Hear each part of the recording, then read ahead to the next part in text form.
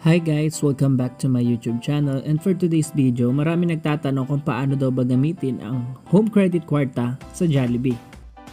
Ang first step guys is open nyo yung my home credit application ninyo, enter nyo lang yung 4 digits pin. Then bago kayo umorder guys, make sure hindi maintenance yung my home credit application ninyo or itanong nyo muna dyan sa Jollibee branch ninyo na kung tumatanggap sila ng QRPH pagdating sa payment. Once na-check nyo na kung hindi naman maintenance ang My Home Credit application, saka kung tumatanggap naman doon ng payment via QRPH, is pwede na kayong umorder ng kahit ano sa Jollibee.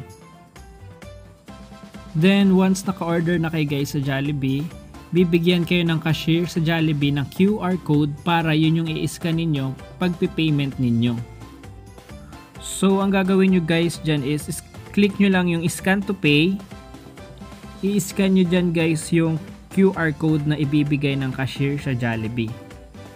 So, once ma-scan mo na yan, makikita nyo naman sa transaction kung pumasok or successful yung payment ninyo.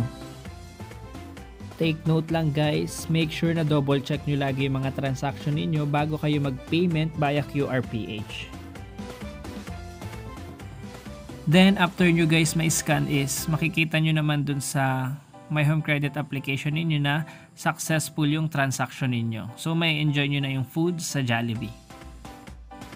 Kung gusto nyo naman guys makita yung transaction history ninyo, click nyo lang yung transaction at makikita nyo dyan yung pinagbayaran ninyo via QRPH. Yan.